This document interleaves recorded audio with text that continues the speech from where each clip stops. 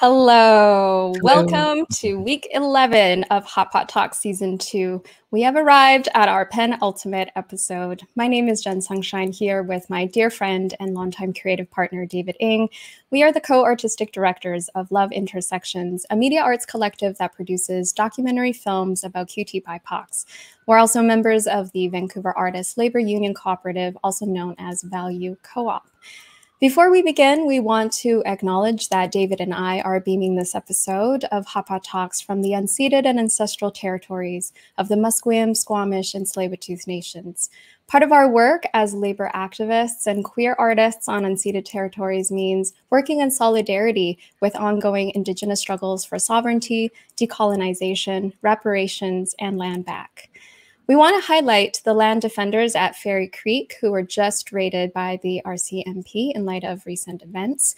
A fundraising link is being dropped into the chat now. Please donate if you can. You should know this by now. Hot Pot Talks is a weekly series live streaming to YouTube and Facebook every Wednesday at 5 p.m. Pacific time, where we have free flowing conversations with artists, activists, chefs, performers, poets, community organizers about what it means to be an artist facing today's realities. What ethical responsibilities do we have as artists? This season, we continue these conversations on topics ranging from anti Asian racism, BIPOC futurity, Chinatown solidarity, diasporic food culture cultures and interrogating the boundaries between everyday activism, fine art, and cultural work. Uh, we founded Love Intersections on the philosophy of collaboration, invitation, and relationship building with and within communities to tell intergenerational and intersectional stories. And, and a car park and a core part of our work as social practice artists has been to interrogate the boundaries between art, philosophy, community work, and activism. Um, when the pandemic put a pause on our creative and community work, uh, we uh, created Hot Pot Talks as a joyous way to continue this dialogue on art and cultural production with people that we are inspired by. Um, before we introduce our guest today, I want to thank our incredible team, Cameron, who is our project lead project coordinator, and Lamia, our social media coordinator, who helped make Hot Pot Talks a reality. Uh, so, without further ado, we are so thrilled to invite Dr. Dylan Rodriguez, who is a teacher, scholar, and activist. He was named to the inaugural class of Freedom Scholars in 2020 and is past president of the American Studies Association. Um, he has worked as professor at the University of California, Riverside uh, since 2001. Dylan is the author of three books, most recently White Reconstruction, Domestic Warfare, and the Logic of Racial Genocide. He is a founding member of the Critical Ethnic Studies Association and Critical Resistance, a leading carceral abolitionist organization, and he is a part of the Abolition Collective and Scholars for Social Justice and continuously works in and alongside various radical movements and collectives. Welcome, Dylan. What's up? Hello. Hey, Dylan. How's it going? Here we are. Welcome to the hot pot table. Thank you for inviting me. This, this yeah. thing is a, this thing's like a, a little online fucking party, and like so I just I just tweeted it out like a few minutes ago. So I think oh amazing. You oh, know, some friends and loved ones might might be uh, might be curious and jump in for a minute to see what we're doing. I appreciate being sweet. invited. Yeah, where where and maybe you can share with us with our audience where are you uh, beaming absolutely, from? Absolutely. Um, so I, I I, I was uh, grew up in Northern Virginia, so I want to make that really clear. Hmm. Um, there's a difference uh, that I have detected ever since I've lived in California between Filipinos that were that, that grew up on the East Coast and then Filipinos grew up in California. And most California, most California-based uh, uh, Filipino Americans know that. Like they try to figure that shit out like pretty quickly. They're mm-hmm. like, "Where are you from?" Because mm-hmm. they know I'm just not from here. Um, but I'm talking to you today from uh, occupied Tongva land, uh, which is uh, Southern California. I'm in Riverside County, the city of Corona, actually the unincorporated part of Corona. And um, I, as you said, I, I, work at a university where um, just down the street, the Riverside Police Department stole the life of Tyisha Miller uh, shortly mm. before I joined the faculty. So I always try to honor that because it's a kind mm. of landmark moment in um, the uh, the kind of history and, and formation of, mm. of this place right? Yeah. Um, among many others, but yeah, Tyisha Miller's um, the killing of Tyisha Miller by Riverside Police Department's major. So that's that's how I mark where I work. You know what I mean, and where I, mm-hmm. I live now. Mm-hmm. Well, we're so excited to go deep in conversation with you, but also to laugh. So I feel like we should start with kind of like a fun question that I like to ask guests, um, which is how would you describe yourself outside of your profession or work? And if you want to make it kind of juicier, what is something that people often misunderstand about you? I don't know. Okay. I think the thing that gets misunderstood is that my outbursts of rage are coming mm. from a pretty well thought out place almost mm. all the time. All right. So like mm-hmm. I have I have um, I went to anger management for a year, right? Like I shoot, like I that's one of my constituting characteristics is is is really rage, right? At the same time, I love to laugh. I'm I think I'm the funniest person probably in the vicinity all the time. Like nobody ever, you know, my my my immediate family's really tired of my sense of humor. Other people are you a, are you a Leo? no, I'm a I'm a Libra. Okay, just curious because it sounds like part of the, I'm like not me. part of the whole like you know whole, you know the whole horoscope cult or anything, but like I'm a Libra, and most people say that I come off like one because because you know I'll judge the fuck out of you when it's time to do that, mm-hmm. right? Even though my mm-hmm. principle is not to do that. Um, mm-hmm. But listen, that, you know, it part of being a Libra too is about a kind of aesthetic um, awareness and understanding of your environment, much like Taurus, myself uh, and Leo, which is David. So, so you're saying so so say you and me are like this, and Dave is just down. That's why Dave is down there. Yeah. yeah yes, precisely. Because when you were when we were just in the back room um, about you know ten minutes ago, you were asking if you should take away the spray bottle that was right. in the background. So I feel like that's like that's a very Libra thing to do. Oh, so that, that's just because I've been scolded. I've been scolded by people. They're like, man, the next different people around me like the next time you go on any of these things and you leave the bed undone or you leave some random right. Febreze bottle in the back, I will never forgive you. I'm like, oh my god, okay, okay, yeah, you're right, you're right. I got to keep in mind. No, but but yeah. just to answer your question, yeah, I think I think um I think I think people mistake mistake uh my emoting and my expressions of my feelings yeah. as being somehow not thought out and somehow not also part of what I'm rigorously thinking and doing all the time, right? Like mm-hmm. the, the, the anger that I express, um, especially post anger management, like I'm better about about kind of like finding ways to express myself that control my rage a little bit more and like filter it a little bit, but also direct it in appropriate ways. Mm-hmm. Um, because the first thing, the first thing that that got demystified is that like you know anger is actually a very healthy thing, right? Rage is a very healthy thing. Yeah. Um, it's just like any other emotion. Like you can't be addicted to love, you can't be addicted to anger either. Mm-hmm. You know what I mean? Like you mm-hmm. can't. It's like none of that. So, so I think that gets misunderstood a lot because, um, in part because maybe because of the professional circles I'm in, where there's such a respectability obsession. Right. Um, yeah. Even, even, even, and especially a lot of us who claim the critique of respectability, like we find ourselves falling into performing respectability way too much, right? And, and so, like, it's it, it like it just it just numbs and saps your soul. So um I'm, too, I'm, i feel like I'm getting too old for that now. You know what I mean? Yeah. So so yeah. that's why um, in most settings, unless I'm I'm asked not to, in most settings I try to cuss at least four or five times. right? Because well, because it's just yeah. part of how I talk and how I think. It's like I'm a profane person mm-hmm. in some ways. You know what I mean? Mm-hmm. And like some shit around me is so fucking profane that I'm gonna call it what it is and express it the way it needs to be expressed. But again, like yeah. That's such a brilliant question, but it's like it, it forces me to understand like this is actually part of what I think folks around me at times don't understand. But the people who know me well do know, mm-hmm. right? Like it, they figure that out well. It's part of being part of our affinity and intimacy with each other. I mean, the, mm-hmm. the the social the, the perception of you as like a man of color too. I'm sure there's all yeah there's the, that stuff there too, right? Entangled. Yeah, yeah, yeah. Um, one of the first things that happened to me when I um, joined the faculty here at UC Riverside was uh, I, I, was supporting I was supporting a demonstration that was led by undergraduate uh, women of color, um, mm-hmm. Mm. brown women. A lot of them, if not most of them, actually uh, from um, you know from from from a some called Chicano student programs from MECHA. It was like at that point mm-hmm. MECHA was a really radical abolitionist, feminist, and and, mm. and, and pro queer queer liberationist formation of students.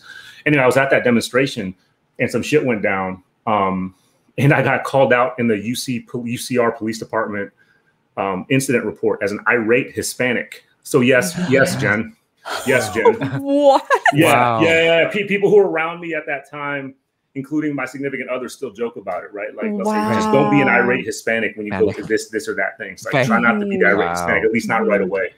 Wow. You know, I I- resonate so much with what you said around like the the, the productiveness of rage because I, I'm a facilitator by trade. So one of the things that I run towards as opposed to running away from is co- the word conflict. And that I Mm. actually think like conflict in the context of like organizing, group work, when you gather together, it's actually Mm. it's what moves things. It's, it's it's what it's what moves, right? Right. Yeah. Um, yeah, I never run away from conflict um, Yeah. unless Well, it's with my partner. just sitting with discomfort too, right? And Yeah. that's where like you shift, right? If you're, yeah, you would hope it. so. You would hope so, but but part of you know, I think there's there's a, a kind of thread that runs across the spectrum of political positions in organizing, Mm. especially for those who see themselves as as on the side of transformation or abolition or revolution, etc. Mm. Um, in which discomfort gets conflated with a lack of commitment to the movement. It gets conflated with disunity and undermining whatever it is that the organizing or the community formation is, is striving toward. Uh, Right. So there, so there's a way that that that the discomfort and, for that matter, conflict in particular, Mhm. just just are actively edged out of everyday political practice Mm. Mhm. you know um uh and and i think it's I, frankly i think it's incredibly damaging because part of what you see with folks in the conservative and reactionary uh, you know elements is is they get engaged in intense contention with each other all the time Yeah. and they don't always agree on shit Yeah. right they'll have severe differences both of like perspective of tactic of strategy of ideology of agenda of everything and yet and yet and yet even despite their refusal to kind of see themselves as one unified block um, they fuck the world up and make life miserable Mhm. and wage Mm. such effective forms of warfare against Mm. everybody else on the fucking planet, like Yeah. all the time, all the time. And it's because they proliferate their capacity and their will to inflict pain, Mhm. Mm. right? To inflict, you know, to inflict violence, like oppressive violence, right? Mm. Because I'm not, I'm not against violence, but I'm against oppressive violence. Yeah. Right? Yeah. Yeah. So, so they have, so that's why that side tends to do their work in such an effective way because it's like it's so it's so much about misery and destruction and and, Mm. and, and, and, and conquest and occupation all the rest and then, and then the folks that are trying to resist that you know buy into this notion that in order to be effective in or shit, shit maybe even just to survive the onslaught that there, that there has to be this thing that we that we presume to be necessary which is unity Right. Hmm. right like, like which is really uniformity Mhm. you know because you can you can Mhm. have moments of unity among people who have principal disagreements on really important things but you can have like moments of tactical and strategic unity so but that's a whole different thing it's it's more what you're talking about jen which is like you know in in, in organizing collectives there's a notion that you have to get to the next agenda objective you've got to Mhm. get to the next outcome you've got to get to the next meeting so we don't have time we don't have time and we don't have energy to wade through these debates that you want us to get engaged with. And frankly, that's what destroys and undermines, or actually, I shouldn't say that. It doesn't necessarily destroy and under and destroy and undermine movements. What it does is it makes movements liberal, Right. Yes. right? It makes Right. uh, movements Yes. that are otherwise poten- radical, potentially radical abolitionists, potentially radical, you know, potentially abolitionists, liberationists, potentially liberationists. It, it undermines the ability to kind of form the, the, the complex and layered politics and, and you know mutual engagement and, and, and fleshing out of difference and antagonism that is necessary Mhm. Right. to be part of a movement like. If you look at the historical uh, context of movements that you would name in those ways, they were really deeply complex. There was lots of contradictions and debates and arguments. There was interpersonal beef. There was political Yeah. beef.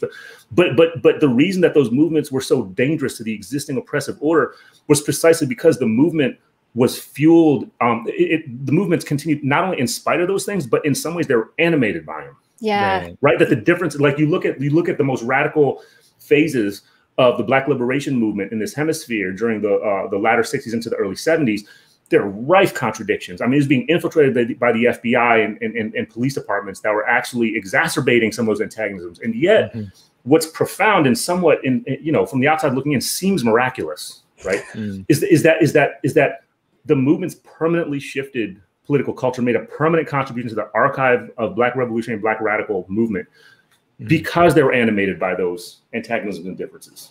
Right. Um, and, and, and, and in hindsight, you like figure that shit out. You learn from it. And now we even have, you know, films on Netflix coming out talking about Black Judas and the Messiah, right? And like now, yes. and not only that, but we have a critique yeah. of how of how that film represents all that shit. So, right. Um. Anyway, yeah. Dylan, I wanted to ask you, how did you get, get how did you get into the abolition movement? What was your journey? I was invited. That? I was invited. Mm. That's that's the short answer. And and I think mm. that is to me the most robust one not not the most one of the most robust characteristics of mm. the long archive, the long tradition, long genealogy of, of Black radicalism, Black abolitionist uh, politics, and Black liberation struggle mm. is is its is its willingness to invite people like me, people like you, mm-hmm. into into the struggle in in in whatever way you can contribute.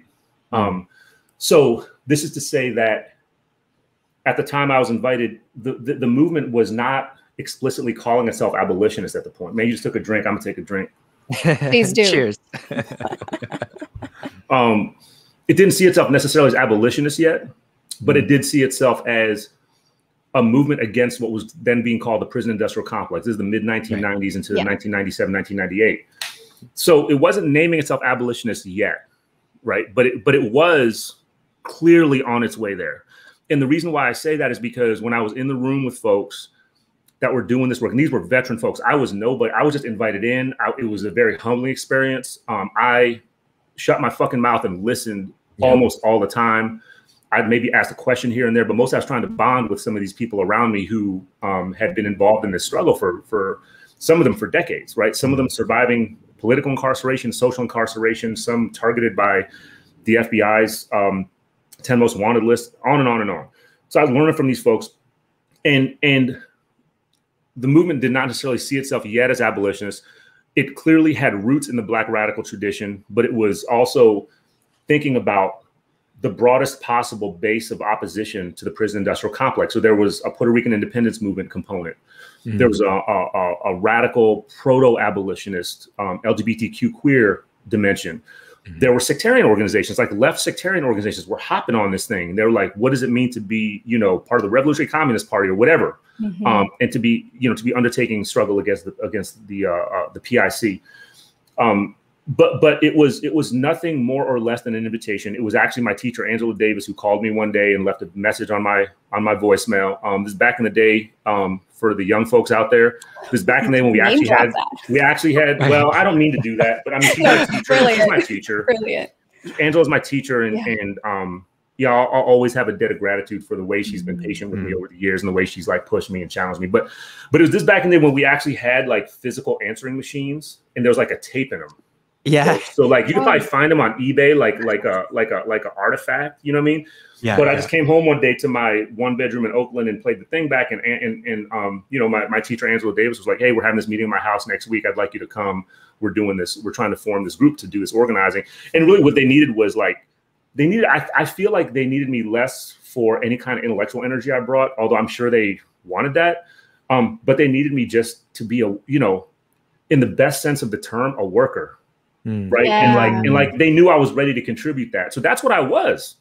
Right. right. The first I'd say five years that I maybe maybe four or five years that I worked with critical resistance, I was primarily just contributing whatever form of labor I possibly could to make myself useful to the room. So, mm-hmm. so that's the invitation. I try to be the same way as a teacher, as an organizer, a scholar, a writer, thinker, activist in a conversation, you know, a conversation partner with people to say that like this is abolitionist, you know, struggle is not some kind of litmus test or hazing that you pass. No, man, this is a community. It's a global community. It's a dynamic community, uh, and it's just being wedded to the principle that you want to to to to basically cease oppression now.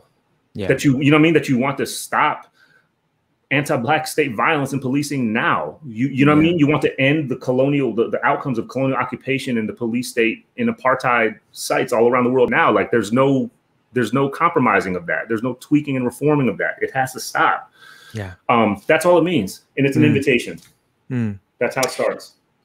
I want to also ask you about the because I, you know, I, I when I read your article uh, toward uh, the Asian exception and the scramble for legibility, it really it changed the way that I knew about learned about um, abolition. I I was joking with Jen. It's a it's a degree that I'm not very proud of. in my my undergrad in my undergrad, one of my majors was criminology, and I actually learned abolition through criminology.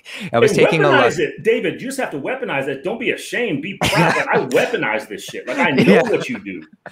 Yeah, and I tell you, it was very. This is why it, I turned to women's studies because I was right taking. On. You know, it was it was I was taking classes with people who wanted to be cops, and it was just mm-hmm. anyway. That's a whole, and yeah, and when you know, I, it, it, your article really sort of, I you know, at the end of last season of Hot Pot Talks, I was really struggling with how do we talk about anti-Asian racism and also talk about solidarity with Black and Indigenous yeah. communities. And your article really sort of summed up for me and made clear for me, sort of, um, as you described it, the ethical obligations to abolition. But I'm curious, like, what compelled you? And because, uh, you know, we're, uh, we're, we're, in different contexts. We're in Vancouver, you're sure. in Southern California. What was the context um, that you were responding to? Um, and how did that, yeah, why did you write, why did you write that article? I guess. So, so first off, shout out, shout out to my friend and colleague and co-conspirator, Charmaine Chua, who's a professor at UC Santa Barbara, who is badass, and you need to have on the show because um, yeah. she's smart as fuck. Like she's really cool, and she's the most abolitionist abolitionist I know. You know what I mean? So mm-hmm. she's she's actually the one that got this thing going and trying mm. to pull together people that she knew were were were had histories doing abolitionist work to respond to.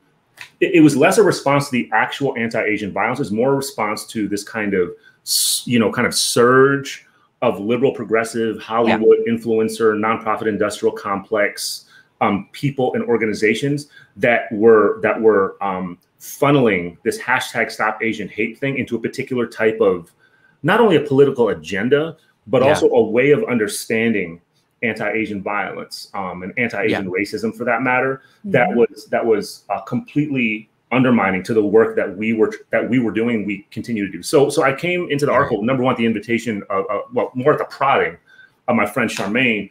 Um, but it was also because you know charmaine and uh, charmaine and i and the other folks who wrote that wrote in that series um, uh, mm-hmm. of, of, articles we were all involved and we remained involved in the cops off campus organizing. Yeah. Right? So we're we were part of the california um, the california statewide group that was doing cops off campus work in the University of California system.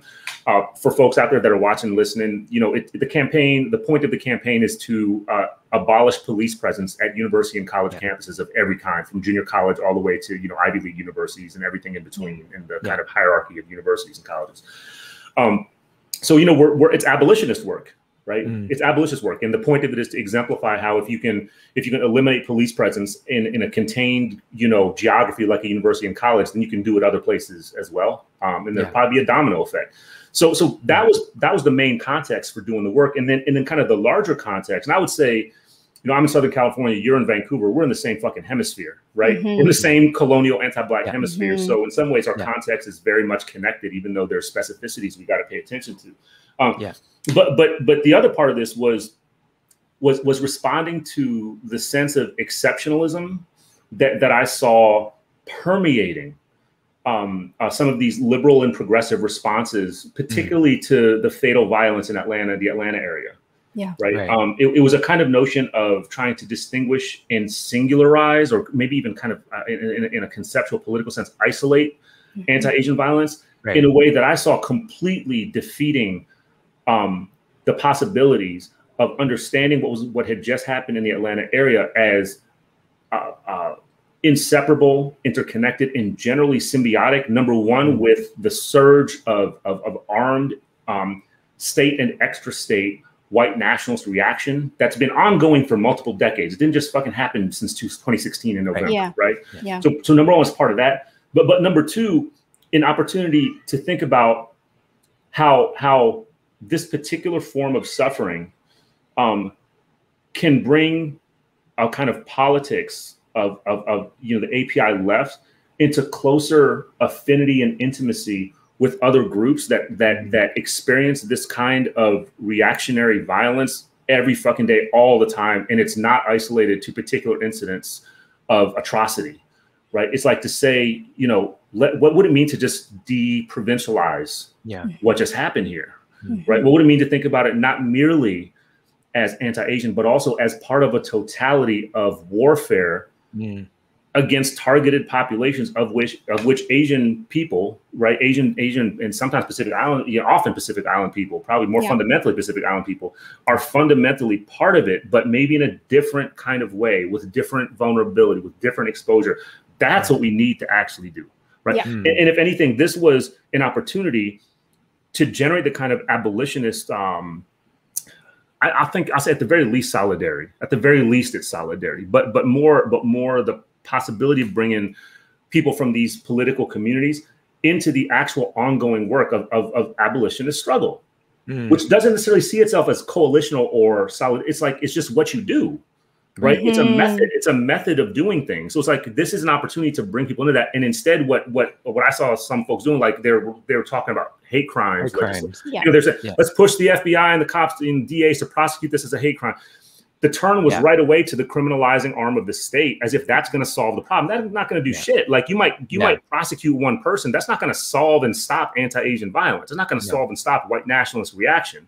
Um, what you actually need to do is build build movement and, and Right. build abolitionist struggle against against this form of violence. And so, um, so it's really that. And, and and I feel like you know have an opportunity to talk about it with with, with folks like you that are doing the work up there and doing work in different spheres. I mean, that's really critical because um, we got to fight this this kind of tendency of of nonprofits and Hollywood type folks to try to monopolize the discourse and turn it into the only thing that circulates into the popular and common you know consciousness because it's attractive to people, right? The hashtag is Yeah. attractive Yeah. to people, and then you know, and it reduces it to hate, and it's like hate has Yeah. only this much to do with it.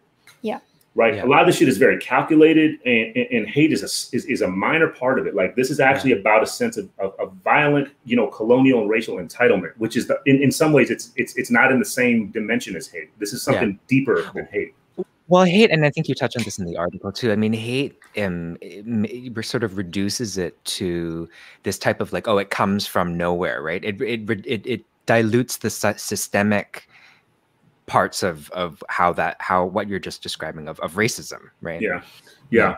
Yeah. And, and it's and this is this is what a kind of liberal perspective does, right? Is that is that it, it'll view repressive, oppressive, atrocious violence yeah, as being something that is somehow irrational yeah, and and outside what the normal operation of society and the state are and should be. Mm. Okay, and that's the other problem with this, right? And you just put your finger on it. David is like p- part part of this was the kind of narrative Mm. around anti-Asian violence was to identify it as number one as being exceptional and profoundly different, right? Something outside what is normal, right? Asian people not supposed to suffer this kind of violence, right? So there's a there's a deep kind of colonial coloniality and anti-blackness that runs through this Yeah. yeah, right? Because it's a sense of like the Yeah. entitlement that no Asians aren't supposed to aren't supposed to suffer this way. They're not supposed to get targeted this way. Like Right. Yeah.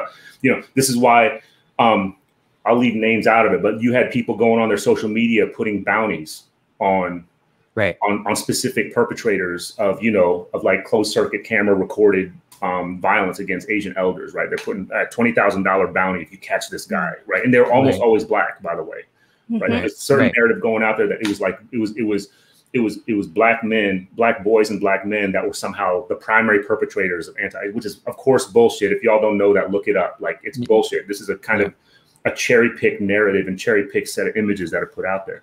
Um, um, but but yeah, I mean this is this is part of what was was and remains so damaging about, about Mhm. how these these kind of moments of violence get seized on to to concentrate, isolate, and separate a particular response, so that again it Mhm. becomes a liberal response. Right? You look to the state to kind of fix your problem, not uh, uh, uh, not understanding how the violence and atrocity that that you and your loved ones and your people just experience is is interconnected with normalized atrocity that is happening all the fucking time Yes. right? And, and it's a profoundly chauvinistic and, um, frankly, you know, violently privileged to not Mhm. think about it that way, Mhm. right? What would it mean to think about?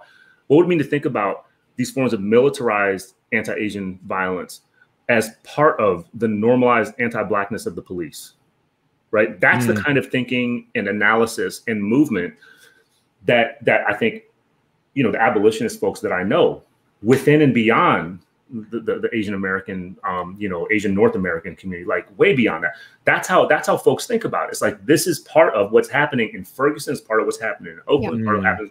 It's like that's what this is actually part of. It is inseparable from that. In that sense, it is not merely reducible to anti-Asian racism. Right. Right. Well said. Yeah, I've been, really, you know, I, I, I've been thinking about this a lot because I think like I, I compare some of the, and maybe it's just also just the bubble that I'm in as well. But I find that like in in Western Canada, we pride ourselves as having this alleged repu- reputation of being more more progressive or, or whatnot. Yeah. And so Yeah. yeah, and, and it's just not true. Like you know, and I, I, I look at the the conversations around abolition, for example, it, it, it, back east, like in Toronto, especially, where there is more, much more vibrant conversations about it than it is um, over here, where you know they hate the defunding the police um, Mm. legislation wasn't. I don't think it, it passed at all. Mm. Also, we have we have we have um, city councilors who who are married to cops, so maybe that's probably Mhm. part of the issue too. But Hey, look, man, city councilors in many, if not most instances, actually basically are cops. right. so let's be real. Yeah, yeah. um, should we, Jen? Um, should we pivot to a lighter question? No, you want to ask a fun question? That was a light question. That was a light and fun question. All right, we can.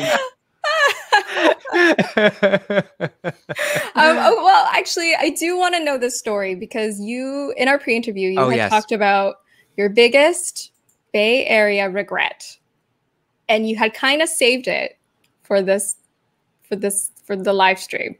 Can you tell us My your biggest biggest Bay Bay Area Did I, regret? did I give you a hint? It was yes, it was. It was you.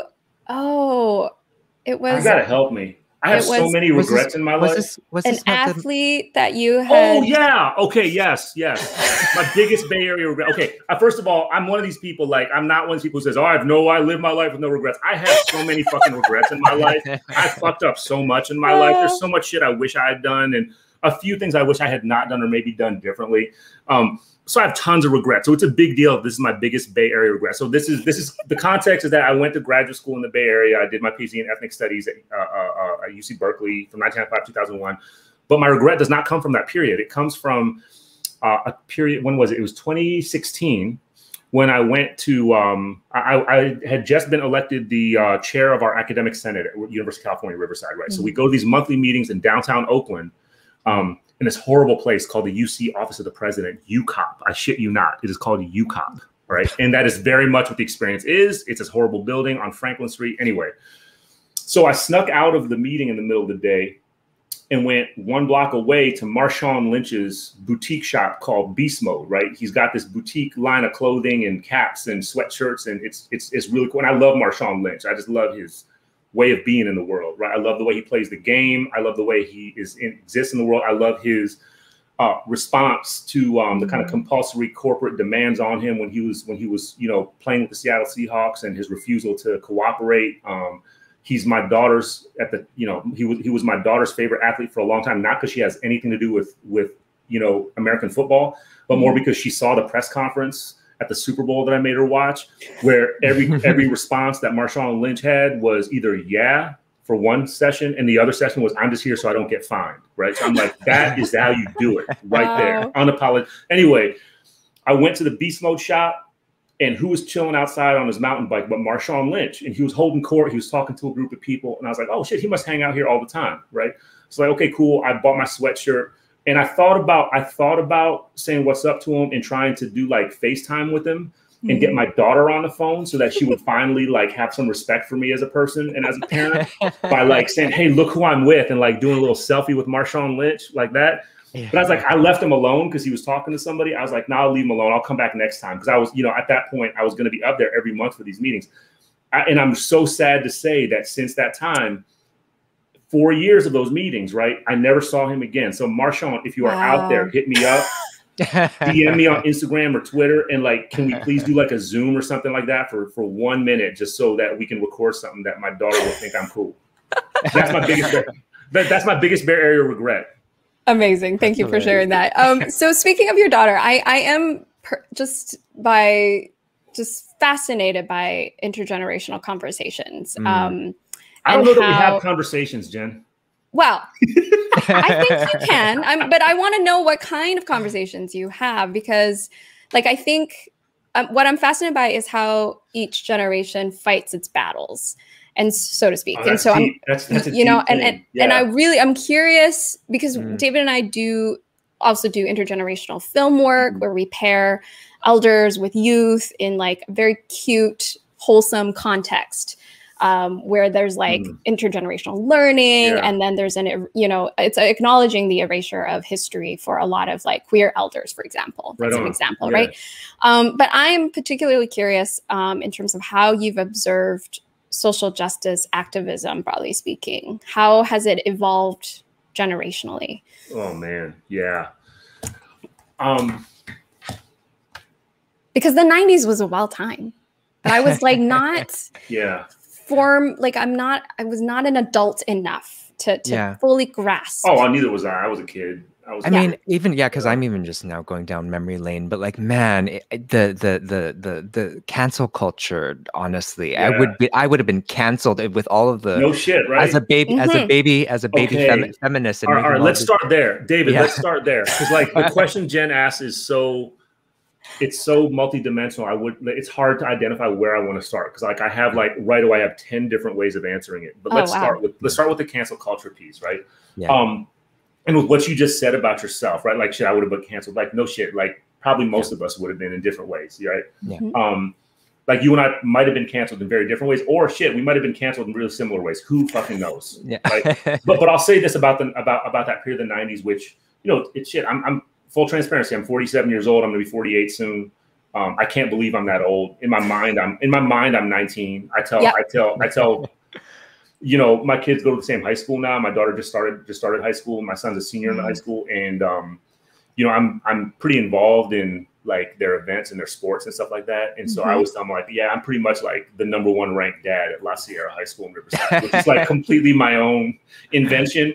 But like I, you know, I truly believe it when I'm there at the baseball games, right? Like I truly believe it when my son was playing freshman basketball and I was yelling at referees. Like I actually believe that shit, right? So in my Yeah. in my head, I'm like, I'm like very much an immature 19 year old and I act like it.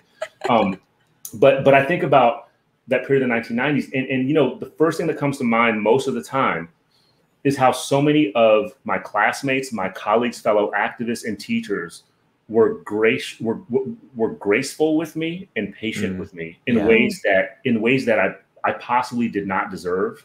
Mhm, yeah. Okay, because I was an asshole.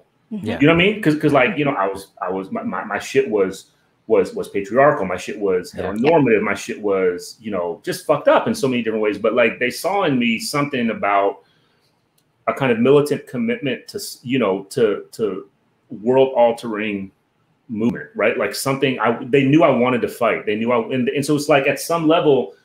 All these different people who I, I, I, it would take me an hour to name even like a tenth of them. Okay, um, Mhm. Yeah. but these folks just just like were graceful and patient and generous enough with me to like not tolerate it but to but to but to firmly critically challenge me on my shit yeah. right and to this day it's the same thing all right to this Mhm. day right to this day Yeah. like the people that i'm around are not people who are yes people they're people who will, who will challenge my shit say hey have you rethought this Yeah. um, it's along every possible uh, kind of kind of field of political struggle you can imagine, right? It's race, it's coloniality, it's gender, sexuality, it's everything. Like I'm around. That's that's how I live, and that's what gives me a sense of being. Is being Mm. around people who like will will do this for each other, right? And and I try to do it back in whatever way I can. So for me, part of what what that period of time is defined by is that grace, right? A kind of radical but principled grace, right? It did Mhm. not tolerate my shit, but it did challenge it in a really loving, patient, comradely way, right? And this many and many people did this for me and with me. Um, what concerns me about a certain turn that the culture of radical accountability is taken is what you're Mhm. naming as this cancel culture thing, which I think it's number one, it's it's a reaction, right? It's a reaction. I, I hope that it will just kind of go away in a certain kind of sense that um, folks will understand that that the, the, the kind of notion of canceling people does not actually uh, it tends to not actually address the violence Right. Right? It might bring some momentary relief because you get that fucker mm-hmm. out of your life mm-hmm. for a mm-hmm. second. But like, but but in terms of addressing, much less repairing the the, the violence that's happening, it's that's probably not the way yeah. to make things happen. So I think that's that's part of what concerns me is, and, and by the way, of course, as we probably would agree on, I think the whole cancel culture piece is endemic, um, or I should say, is organic uh, to the rise of social media. Yep. You know, kind of like yep. the public way of of just saying, "Well, this person did this; they're out." Right. And yeah, it, yeah, yeah, yeah, yeah, It's hundred percent tied. It's it's a link to the, the, the kind of hyper visibility of like an accelerated digital presence yeah. that on one hand we have it's it's amazing that everyone gets to have a voice and put themselves out there on the other hand everybody has a voice and put themselves yeah, out there. sometimes people need to shut the fuck up. Mm-hmm. The only Straight thing, up. the only yeah. positive yeah. thing I would say in the like the virtual is is looking at the the through a critical disability lens where um, there is so much more discourse around like neurodiversity and like you know having a critical understanding of like accommodating and accessibility. Yeah. Um, but uh, but uh, but you know, I think like it's interesting with the cancel culture has how that's evolved because I think when David and I started Love Intersections seven yeah. years ago, this was pre 2016. It was around the time for those reasons that you just mm. described. Mm. Actually, mm-hmm. yeah. I think yeah, exactly. It was a response to um, but it was like a few years had been around call out culture, it was called. And yeah. then we were working yeah. with like calling in versus calling out. Yeah. And now that's so like simplistic. Wait, you know, I, am curious though, and this, uh, it came up in our pre interview that it's interesting like i mean i don't watch a lot of american news but i remember seeing a clip of like fox news talking about canceling cancel culture yeah and so I'm I'm curious. I, so I'm, I'm, i have I guess my question is like, um, and Jen and I were sort of discussing like, you know, as this language gets co-opted by the right, um, what are how do we respond to that? Do we reclaim that language? Um, do we find new strategies? Do we find new language? Because it's so interesting it's similar i would i would hate to say a lot of the stuff that we've just talked about with the, with the problems with cancel culture i've heard also for, on fox news. Yeah here's the thing is that is that what what folks need to understand is that you have you have the power to reject the premise Mm. Right. I was just having this conversation with a teenager the other night, right? Because we were talking mm. about, I forgot what, what, exactly what issue we were talking about, mm-hmm. but they were about to try to compare what I do and think and write and teach every day with um, basically what a troll does, right? They're like, isn't it? The, and they weren't being right. mean spirited, ah. but they were saying like, isn't it the same thing? Aren't you just expressing your opinion the way they're expressing their opinion, right? Huh. Yeah. And so and so I broke that down. I was like, nah, the difference is that not all opinions mean the same fucking mm-hmm. thing. Right. Mm. Right. And so like and so like in what I do, the shit that I do is not merely an opinion. Right. Right. Like I can back my shit up. That mm-hmm. fucker cannot back their shit up other than just to put a meme out there that's catchy. Yeah. Right. And maybe right. brings so so so so part of this is to understand that yeah, whatever rhetorics folks are attached to, like they're available for expropriation and deforming all the time. That's happening right now with abolition, by the way. Right. Yeah. Right. Yeah. There, there, there's, yeah. Pe- there's people I know who, for actually multiple decades, would completely reject affinity and affiliation with abolitionist anything, who post 2020 the summer um, have suddenly started calling themselves abolitionists. Some have even gone on, right. you know, put it put it in their Twitter profile. They call themselves literally will call themselves abolitionist in the Twitter profile. Wow. Yeah. Right? With no connection to any abolitionist collective, no, you know, and also actually a history of rejecting it or maybe or even being actively hostile to it. Right. right. So like we just need to understand that. We need to understand right. like that's that's kind of the nature of any discourse is that is that folks will seize on. There's opportunism and there's also just um, kind of a fucked up deforming of what mm-hmm. these concepts mean. So yeah. Given that, you know, it's the wrong question to ask whether a particular term or hmm. discourse mm. needs to be saved from mm. being seized by liberals or, for that matter, the right, meaning Fox mm. News, et cetera, and all their friends.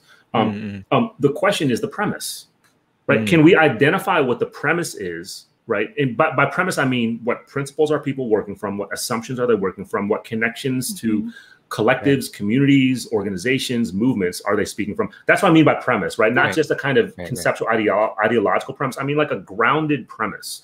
What is the grounded premise that people are working from? If they're not working from shit, then you name it, right? Then you can name it. You can name it and say like, I mm. actually reject your premise.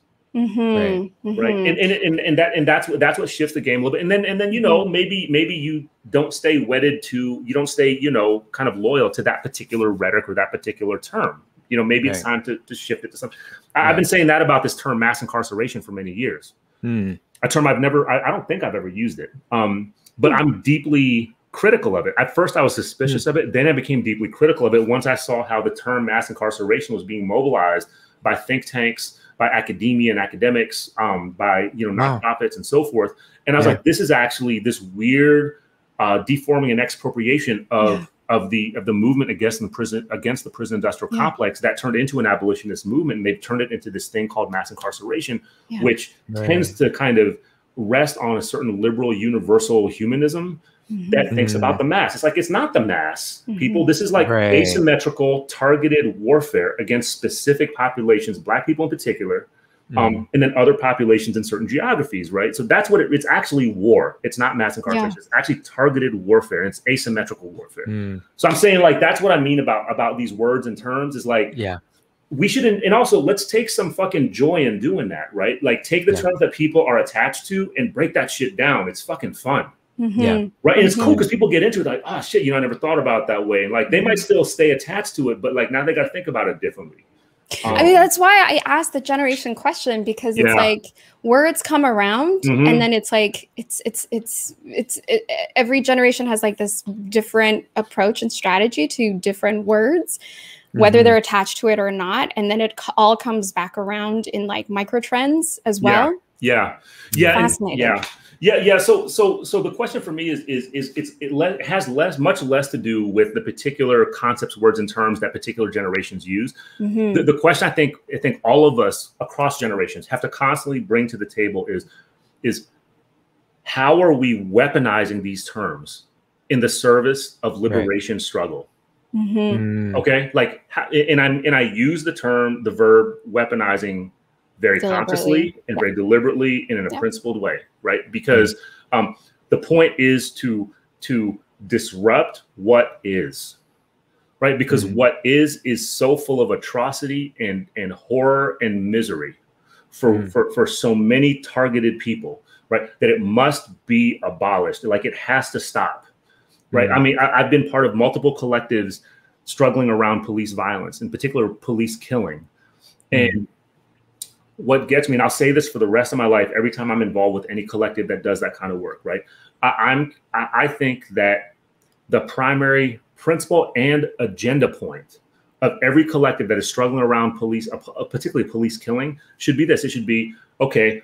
Our collective is committed to the principle and the agenda point of no more police killings, mm. not one more, mm-hmm. right? Mm. And fuck you if you oppose that right? Mm-hmm. Because yeah. we will not tolerate a, that is the goal. The goal is not one more. It's yeah. not police reform. It's not diversity training. It's not getting more um, so-called transparency, and it's not getting a police a cop prosecuted who is part of this thing. It's like that's that's that's all. We're, we're going to put that to the side because that stuff that stuff is is kind of kind of a, a liberal project. Right, those mm-hmm. are liberal, those are kind of liberal projects that allow mm-hmm. the police to stay intact while individualizing the problems. Mm. If we think about something like fatal, targeted, anti-black, colonial, racist police violence as a thing, right? If we identify it as a thing, then the principle to me, and to like pretty much every abolitionist I know, is for it to stop right now. Mm-hmm. For there to be not one more, we don't tolerate it and we don't condone it. To stop right now, and so if we if we operate from that, you know, I was using the word premise earlier. If if we're mm-hmm. operating from that premise across generations and within generations, right? Whatever generations are and whatever, however we identify and define generations.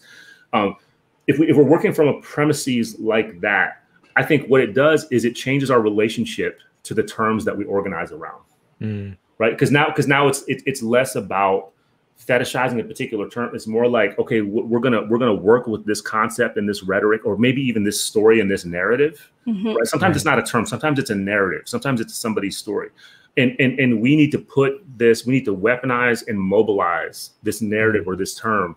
Um, that's what i mean by weaponizing right? It's like it's part it actually becomes part of of of, of insurgency yeah. against what is. Hmm. I'm curious if you um about organizing. have you seen what sort of um in your community? What sort of the have you seen some really cool coalition building or methods? Oh hell um, yeah! oh yeah. man, yeah. I've been I've been I've been like humbly taught by so many people in recent times about forms of organizing. Um, off the top of my head, I'm thinking about the Strike MoMA folks in New York. Oh yeah. If, if, y'all are not familiar, like go look them up. Look up Strike MoMA.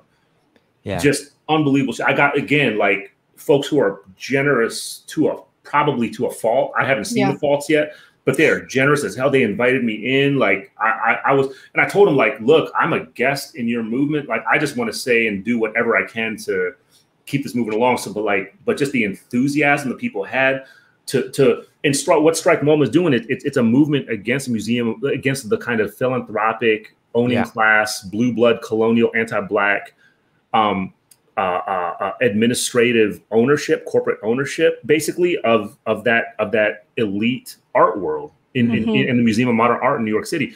And they and what Strike MoMA has done is a collective of artists. Um, led by you know queer artists palestinian artists black artists etc who have identified this particular institution and site as a primary expression of anti-black and colonial violence and power. Yeah. Like, and we're talking hemispherically and in terms of yeah. the whole last half millennium. Like, and I'm like, mm. holy shit, that just blew my mind. That is right on.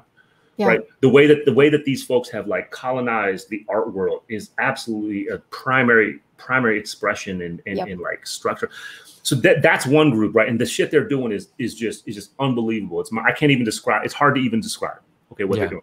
The the other example I'll give you is the stuff around mutual aid, mm-hmm. right? And and and it's a term I'll provisionally use because people different people use different terms. Yes. Okay, but but I think about um like for example, I'll give you the example that I draw on all the time. Um, Amika Tendaji, who's one of the co-founders, and Martine Caverl, who's the other co- co-founder of, of an organization called Ujimaa Medics in Chicago. Um, if hey, if y'all don't mind, I'd love it if you would put their link in the description of our discussion because um, they, they, they, they only thrive off grassroots help. Right? What was their um, name again? Ujimaa Medics, U J I M A A.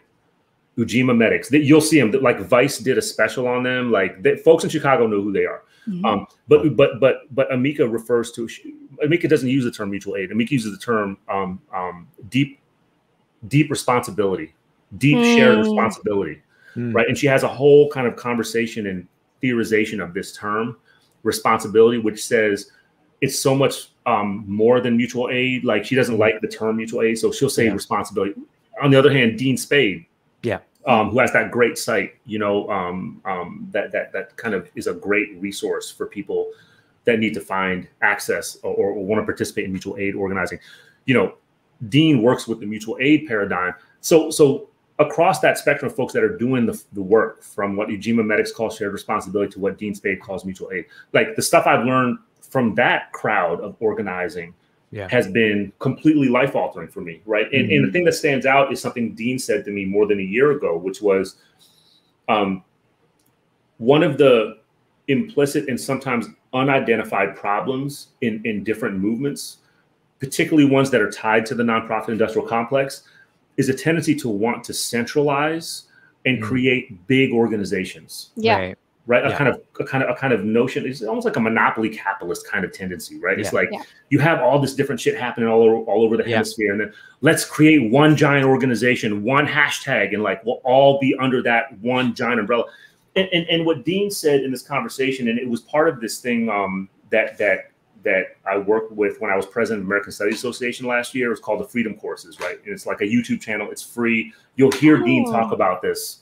Um, y'all can put that link up too. I'll give it to you later. Yeah, yeah, cool. uh, but we had this whole discussion on mutual aid, and you'll hear Dean talk about it in this in this Freedom Course, where he said, you know, mono- creating a central national giant organization is actually, in most cases, it's contrary to what we should be doing. Right. right? What he said is that what we need to be doing is proliferating as many, mm-hmm. you know, um, as many differently scaled, yeah. locally situated organi- organizations and mobilizations and collectives as possible. Yeah. Right.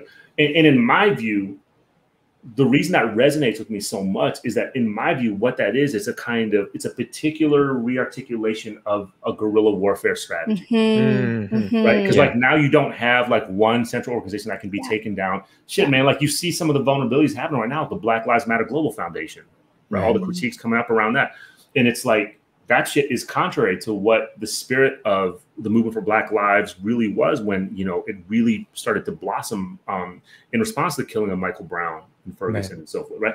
So like the the sense of proliferation is one of the other kind of organizing strategies and paradigms for that matter that's really uh, gotten um, i think traction with me and other people in recent times it's like no we don't need to have a fucking Yeah. corporate center to all this Yeah. shit we need to be proliferating it in large and small ways and what organizing looks like is going to be different all the time and it should be different all the time right because artists don't Mhm. organize the same collectives of artists don't organize the same way Yeah. that you know collectives of independent scholars and academics organize you know what i mean Yeah. like they don't organize the same way that that, that like student militants that are coming from a revolutionary revolutionary nationalist or anti-colonial perspective organize so like the proliferation sense is also one of the big things Mhm. just two Yeah. examples I mean, this is this is a conversation that Dave and I have often around the concept of growth when we're Yeah.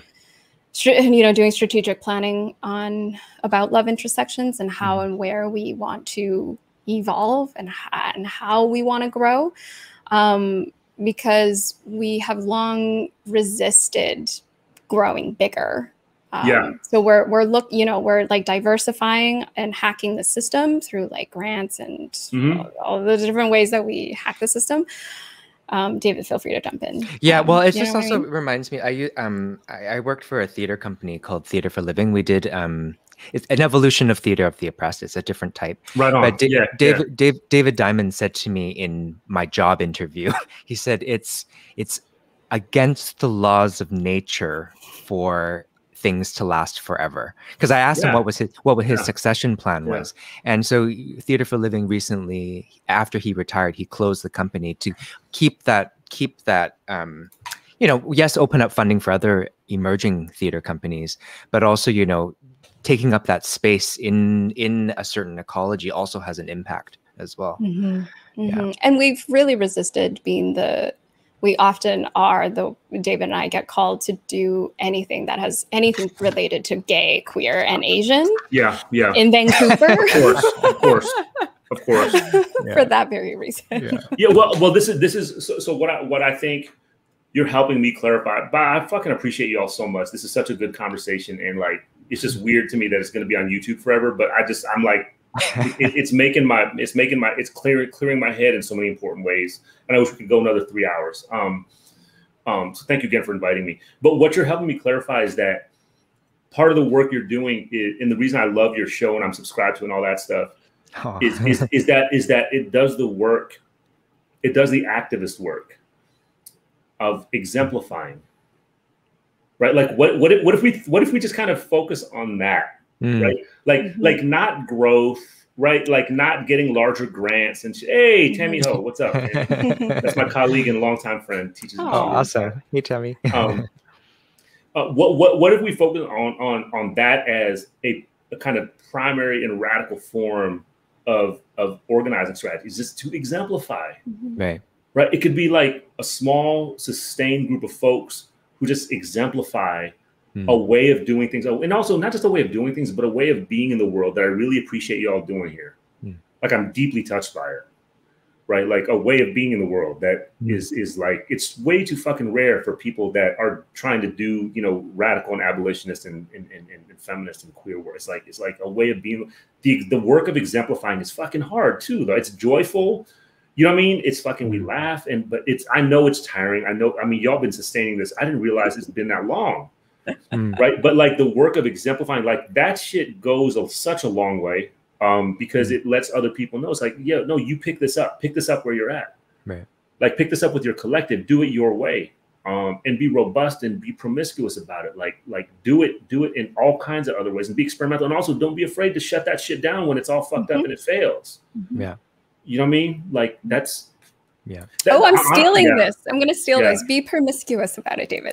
Yeah, no, that's, Yeah. that, that, hey, that's my that's too. that that's that's another that's another way of saying what Dean Spade was teaching me a year ago, which was like proliferate, Right. proliferate, like that. Hey, yo, that is what that is what kind of like the right wing, and for that matter, many liberals are scared shitless about. Mhm. They're Mhm. scared about like radical abolitionist, revolutionary liberationist people proliferating their shit. They want us to consolidate stuff into one organization that they can then fucking target and haze and torture and fucking troll and destroy. They want that. What they what, what nobody can handle is if it is proliferated, if it, if it turns into like in a you know a, a 21st century version of guerrilla struggle, Yeah. um, you know, with all of its experimentation, all of its dynamic movement and so forth. That's that's what I that's what I that's what I want to see in my lifetime. Right. Mhm. Like I, you know, I I want to see that. victory. I want to see like liberated world in my lifetime, which I don't know I'm Yeah. ready to live in, by the way. like I might need to leave. Like I might need to be put into a very narrow role in a liberated world because I'm not a liberated person. I try so hard to fight, right? And I'm not sure that I'm like ready. But you know, so I want to see it in my lifetime. But I'm also, you know, I understand how history works. It's like my the the the, the, the privilege and honor I have is to be work to be part of this work with you all, right? To contribute to this long historical script of struggle. Like that's that's what we should be um, kind of kind of um, uh, taking joy and pleasure in Mm. and, and kind of collectively thriving in is like we are privileged to be part of that script, Mm. that Yes. long historical script.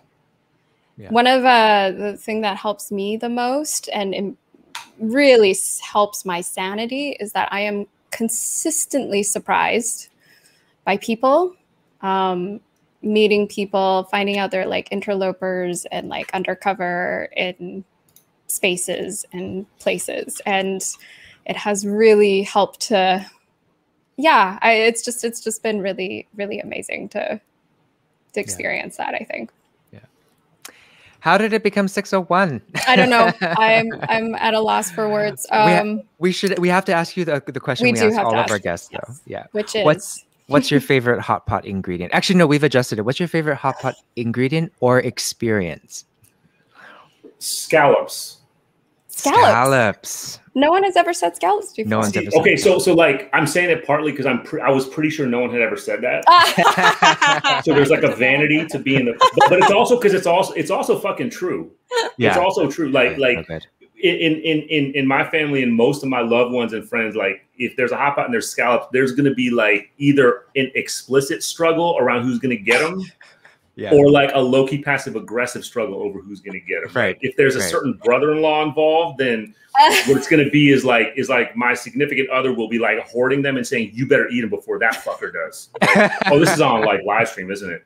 Um, anyway, anyway, scallops all day and all night in the hot pot. Like if you gave me a hot pot with just scallops in it, like I, I would think that I was in the afterlife already. Like I don't even know that I, believe, I don't even know that I believe in the afterlife. But if you gave me a hot pot with just scallops and maybe some noodles, like Oh, some yeah. scallops and noodles and shit, maybe some spice in it, like I'm good. And you might have me believing in the afterlife that it's already here. Amazing. I'm sure there in an alternate universe there is a world Man. just of scallops. Hey, it's and good, it's good to dream, man. It's good to dream. It's good to dream. Well, thank you so much, Dylan, for joining us. Y'all are so. Generous for having me on. Like I, I know I probably made no sense during this one hour, Nope. but like I just I'll tell you though, regardless of that, I enjoyed myself so much. I don't take anything back. Um, apologies out there if I curse too much, but kind of not really. I kind of kind of don't. I kind of don't apologize. Um, hey, I didn't cry and I didn't start yelling at you, so that's a victory. That's great. You know, it's always a good sign. you know what I mean? No, but like I just I just appreciate the sense of love and generosity that you all express. And again, use that word exemplify. You all exemplify it all the time on, on, on the show. So thank you. Thank you for having Thank me. Thank you. you. Great. Thanks, Dylan. Thank you. Well, we don't have a guest to introduce for next week uh, on the 18th, same time, same place. It's going to be David's It's my birthday. birthday. and we're having a the, our finale episode our that's finale just episode. just Jen and I. So and uh, we'll be yes we'll be sharing our experience with the whole season uh, we'll talk about some funny moments some moments we cried i'm sure some moments where I almost passed away because I was so ill from the vaccine shot, you know, that Oh sort of God. thing. Yeah. Well, thank Great. you, everyone. Great. Have a good night. Bye.